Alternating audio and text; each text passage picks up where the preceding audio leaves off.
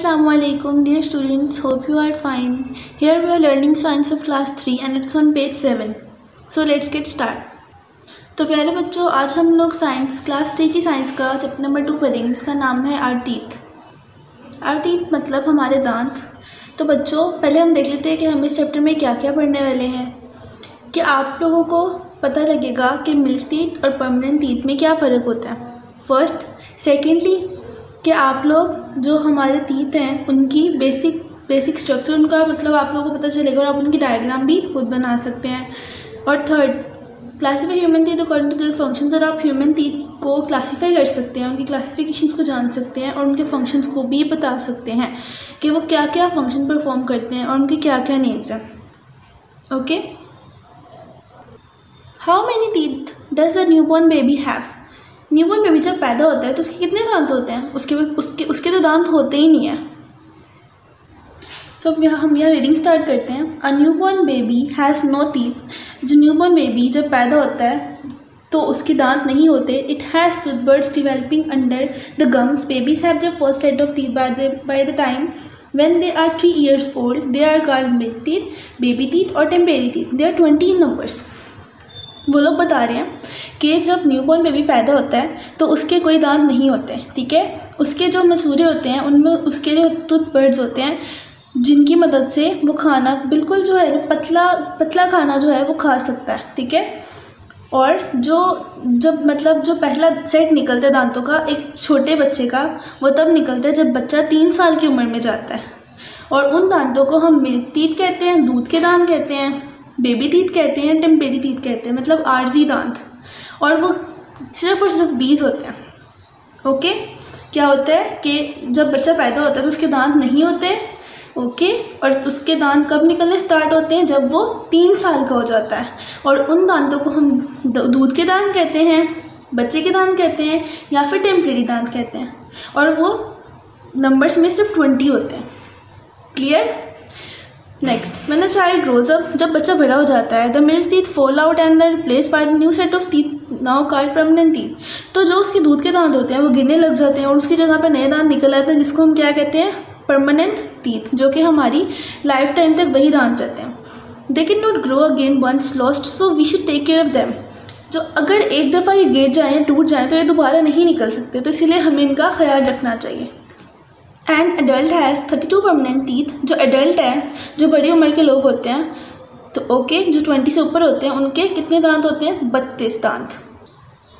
As we grow तो यहाँ पे क्या बात होने लगी है? पार्ट्स ऑफ़ अ टूथ की, के दांतों के कितने पार्ट्स होते हैं? सो एज वी ग्रो जैसे जैसे हम बड़े हो जाते हैं our teeth undergo many changes हमारे दांतों में भी बहुत ज़्यादा चेंजेस आते हैं adult have bigger teeth and children and babies तो हमें पता है कि हम बेबी हम बेबी होते हैं उसके बाद हम बड़े होते हैं, हम ग्रो करते हैं ओके उसी तरह हमारे दांतों में भी बहुत चेंजेस आते हैं।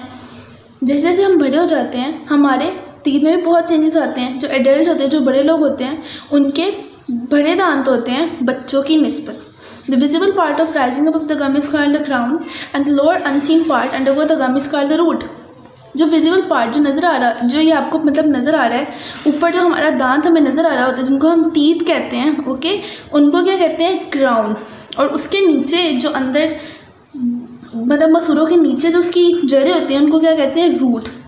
मतलब एक पूरा दांत है, ऊपर वाले पोर्शन को कहते हैं क्राउन नीचे वाले पोर्शन को कहते हैं रूट तो टाइप्स दांतों की types when you look in a mirror जब आप शीशे में देखते हो do you notice that you have different types of permanent teeth in your mouth तो क्या आपने नोटिस किया कि आपके बहुत डिफरेंट टाइप के टीथ परमानेंट टीथ जो होते हैं, वो आपको नज़र आ रहे होते हैं आपके मुँह के अंदर?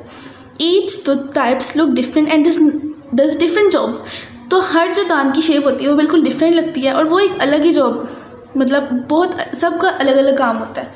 हर दांत एक काम नहीं करता। क्या है जी? सबसे पहले आ, आ गए हैं canines help to tear food जो केनाइंस होती हैं जो हमारे चार दांतों के आगे जो दांत होता है ठीक है? चार हमारे पहले चार दांतों को छोड़ के जो पाँचवा दांत हमारा नज़र आ रहा होता है उसको क्या कहते हैं? केनाइंस और वो किस लिए यूज़ होता है? Help to help to tear food खाने को तोड़ने के लिए यूज़ होता है, ठीक है? ओके नेक्स्ट है molars help to grind food molars हमारी एंड वाली दालों को कहते हैं और वो किस लिए यूज़ होता है? खाने को पीसने के लिए। Next premolars premolars हमारे नीचे वाले, जो कह लो कि फोर फोर्थ दांत को हम कह सकते हैं, ठीक है? आगे वाले तीनों को छोड़ के अगले जो बीच वाले जो दांत होते हैं थोड़े से नुकीले भी होते हैं, ऊपर से अगर देखा जाए तो। ओके okay, उनको क्या कहते हैं? Premolars help to chew food जो दांतों को चबाने के लिए यूज़ होता है. And the last one in incisors तो ये किस लिए यूज़ होता है? Help to cut and chop food ये खाने को कट करने और उसके टुकड़े करने के लिए यूज़ होता है. तो ये थी कुछ टाइप्स हमारे दांतों की. और उनके यूजेस तो अब हम इनके बारे में थोड़ा सा डिटेल में पढ़ लेते हैं incisors the teeth at the front of the mouth are called incisors और बाइटिंग टीथ जो हमारे सामने वाले जो दांत नज़र आ रहे होते हैं जो चार दांत ऊपर नीचे के नज़र आ रहे होते हैं उन्हें क्या कहते हैं incisors they have a chisel shaped crown with a single root. They help in cutting and biting food. We have a total of 8 incisors, 4 in our lower jaw and 4 in jaw. उन्होंने कहा है वही कि हमारे जो है साम, ऊपर वाले चार और नीचे वाले चार दांत उनको हम इंसाइजर्स बोलते हैं और ये क्या होता है? हमें मदद करते हैं खाने को काटने मतलब हमने कोई चीज़ बाइट करनी है तो हम आगे वाले चार दांतों को, नीचे वाले चार दांतों को यूज़ करते हैं। बाइट करने के लिए या किसी भी चीज़ को कट करने के लिए, ऐसे ही है। तो इन साइडर्स इस काम आते हैं। नेक्स्ट है canines beside the incisors there is a set of pointed teeth called canines तो इंसाइजर्स के अगले दांत जो कि थोड़े से नुकीले दांत होते हैं, उनको केनाइंस बोलते हैं। Because they are pointed and sharp क्योंकि वो बहुत तेज़ दांत होते हैं, जो कि हमें मदद करते हैं खाने को तोड़ने के लिए। दे हैव अ सिंगल तो tube shaped crown with the single root they are four in numbers two is the up two in the upper jaw and two in the lower jaw ये क्या होते हैं? Curve shape में होते हैं और उनकी बिल्कुल सिंगल रूट होती है। इनकी एक ही जड़ होती है ओके नेक्स्ट यहाँ पे आ, गए हैं premolars behind the canines canine से आगे the bigger flatter teeth are are chewing are over chewing teeth called premolars जो अगले दांत जो हमें नज़र आते हैं जो कि हम खानों को खाने को च्यू करने के लिए यूज़ करते हैं उनको प्रीमोलर्स कहते हैं.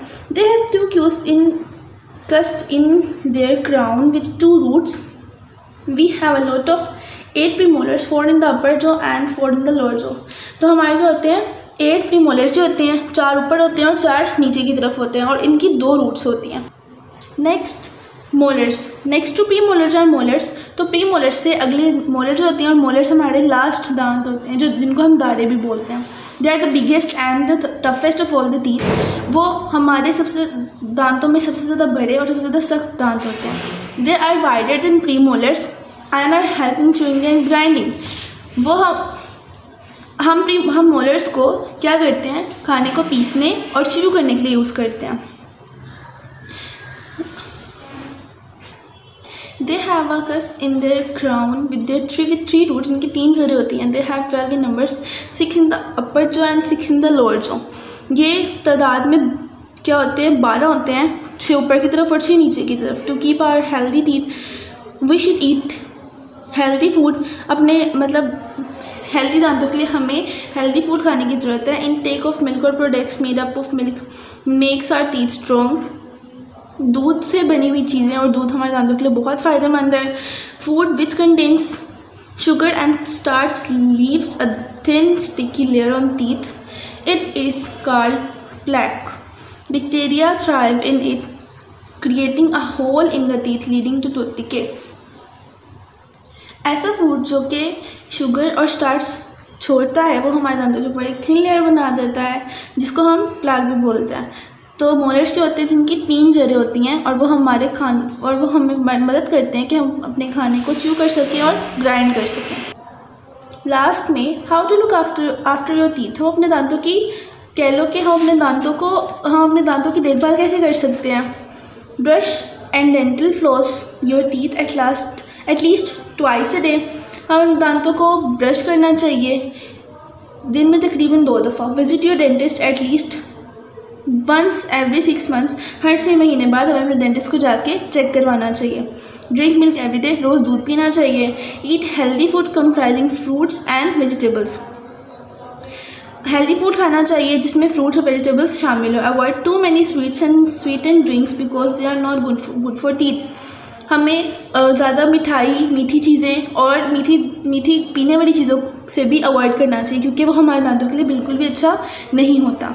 तो बच्चों होप सो तो आप लोगों को समझ आई है। हम नेक्स्ट चैप्टर पढ़ेंगे और इंशाल्लाह मिलेंगे। अपना ख्याल रखिएगा। अल्लाह हाफिज़। Dear students please subscribe our channel press the bell icon like share and comment the videos. Thank you very much